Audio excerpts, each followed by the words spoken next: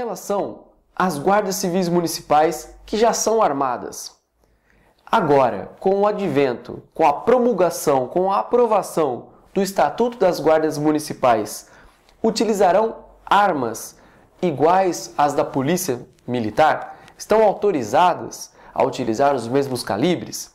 A resposta é não.